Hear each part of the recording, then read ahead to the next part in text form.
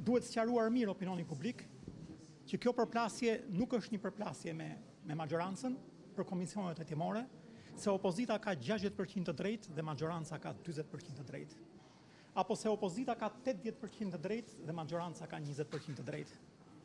Është një përplasje që bazuar në kuadrin ligjor shqiptar, në Kushtetutë dhe në ligjet për komisionet hetimore, opozita ka njëqind për qind të drejtë dhe mazhoranca ka zero për qind të drejtë. Kjo është një betejë e nisur që në mënyrë të padiskutueshme do fitohet nga opozita, sepse problemin qeveria nuk e ka me opozitën. Problemin qeveria për komisionet hetimore e ka me Kushtetutën.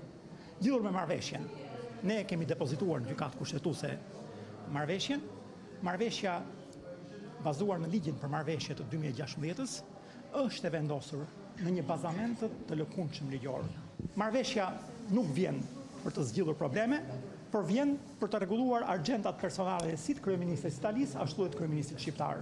Shfaqje të kësaj natyre kur deputetë për protagonizëm të tyre personal Kanë humbur sensin e politikës, sensin e qenit deputet në Kuvendin e Shqipërisë. Po të shikoni është çështje e tyre e brendshme, çështje e grupeve të tyre. Iu drejtova edhe zotit Bardhi, po aty janë 4-5 grupe dhe nuk mundem që të kontaktoj me asnjë që të ketë influencë te pjesa tjetër. Është fatkeqësi e tyre, është fatkeqësi e gjithë shqiptarëve, është fatkeqësi edhe e jona, e mazhorancës me këtë opozitë.